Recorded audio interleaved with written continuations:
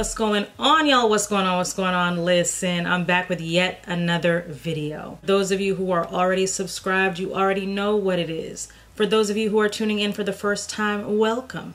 What you can find here are talks about maca, maca root to be exact, how to gain slash maintain weight, product reviews, skincare hacks, skincare product reviews, how to grow longer hair, specifically 4C hair, and protective styles for 4C hair, just how to glow the heck up in general, amongst other topics. Alright, let's get into now, it. Let me say this what God has for you, it is for you. What God has for me, it is for me. And I know it sounds cliche, but although you may come across some roadblocks, some speed bumps, God's got you. And what I say to God is, Lord, please carry me and don't drop me. Let me say one more time carry me and don't drop me. But things will happen and you'll question what is going on. People will not always wish the best for you and pray for your downfall. But God's got it. Now let's really get into it. I'm wearing on my eyes the mascara the lipstick, the lip gloss. They are my own. I'm not wearing any eyeliner today, but the eyeliner is also on point. No pun intended. And there, of course, is always a sale going on. The color that I'm wearing is whipped cream, and it's like a soft baby pink slash orangish color, but all, honestly, it comes out of like a light pink color, as you can see. It almost has like a nude or natural finish pink to it, which is what I like and I just think it's very good for many a complexion. And let me put some more on. Like a soft pink color it's not as bright of a pink as the Pum Pum pink color but it's just like a soft pink color which I really do love. Like I said there's a slight orange tint to it but I love it. And it's called whipped cream and it does go on very soft smooth, moisturizing. So there's that. The mascara I love because it goes on very dark and it really does lengthen and volumize. And it has collagen.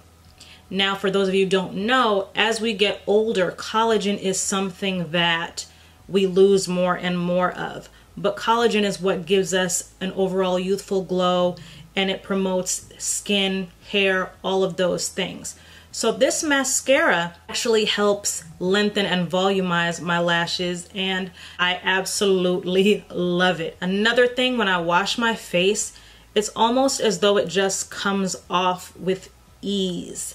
It doesn't leave like a whole bunch of dark under eye area and whatnot. I absolutely love it if I do say so myself. There's that. Check it out, modestlylavishstore.com. Now, African black soap as many of you know and probably use yourself. It truly is an amazing soap. I can't even knock it.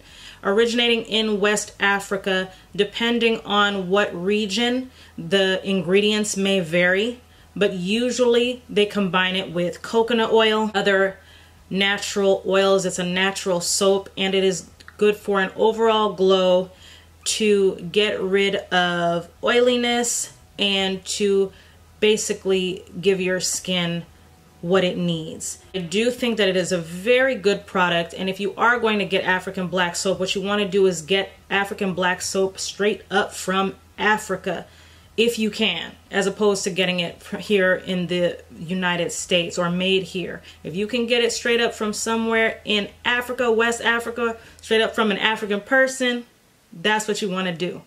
Now, the kojic acid ultimate illuminating bar is also a great soap and has essential oils, natural oils. The thing that takes it up a notch is that it has the glycolic acid and the kojic acid. And those two things are very good for dealing with acne, for fading dark marks. But not only that, it has lemon and orange which actually helps to essential oils which actually help to fade the dark marks even more and also give you an overall glow. And as opposed to the African black soap, the kojic acid ultimate illuminating bar, the real kojic acid ultimate illuminating bar has a citrus scent but it's not an artificial scent. Again it's coming from organic essential oils. And it looks like this a little bit does go a long way hmm.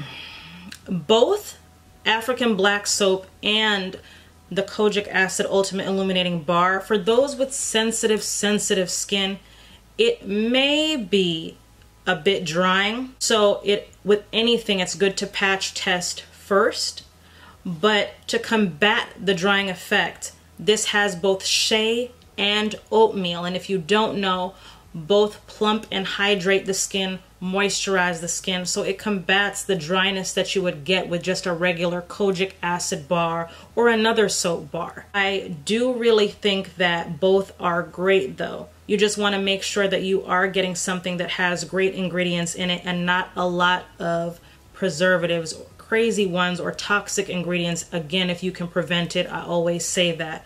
That is how I feel about that. But honestly, you're good to go with either. There is always a sale, and if you buy this, you also get a free gift with the purchase. If you'd like me to do more of these comparison videos, I most definitely will. I actually have some on the way. I just want to say that when it comes to skin, I've said it before, if you err on the side of using more natural oils and not, believe it or not, buying a bunch of like high end costly things that have like a lot of ingredients or unnecessary preservatives in them, you're actually better when you use less on your face. I don't wear makeup every day. I haven't worn makeup in a minute. When I do put it on, just come say hi to y'all or whatever if I feel like it or to step off. I then wash it off again with something that is not very, very harsh and does not have a lot of chemicals in it if I can prevent that. That is what I recommend. The sea moss has been working wonders for me. If you can't tell, right now I don't have any crazy breakout. And just consuming water and putting on your face something that does not have a lot of harsh ingredients is the way to go. I am wearing Tarte foundation. I absolutely swear by it. I am wearing Tarte concealer. I absolutely swear by it. I've tried a lot of things. And let me tell you something. This is the truth. And the thing about Tarte is that they don't use a lot of harsh ingredients. They are vegan and cruelty free. So when it comes to things that I use on my lips and my eyes, I use my own my own things. When it comes to foundation and concealer, I use Tarte. And when it comes to facial cleansers, now I've just been more on using very natural products, whether it be the Maca Bar or sea moss or different oils that are all natural. Jojoba, you know, your essential oils. This does not have coconut oil. A lot of African black soaps do. But again, you want to just err on the side of caution patch test and make sure that you can tolerate whatever it is. And if you see that your skin is getting really dry with the use of any product, then just use less of it or just use it less often as well or both. So that is a brief summary of the comparisons. I will most definitely be back with more. I will be redoing my hair, so I will be taking these out, showing you what my hair is looking like and then I'm putting braids right back in because that is the best way for my hair to grow. But if you feel so inclined, I do ask that you please like, comment, share, subscribe, hit the bell for notifications so you don't miss when I post. I will be posting like crazy because it's not a game, okay? And I have a lot to tell you. I have a lot to share with you all, so you're gonna wanna stay tuned in. But I appreciate you. Thanks for tuning in. Please subscribe to the socials, both YCC1 and Modestly Lavish. TikTok, all of that. I'm trying to build it all up, y'all. Thanks for tuning in. And I'll holla. Gang, gang. This, y'all, is the truth. Mm-hmm.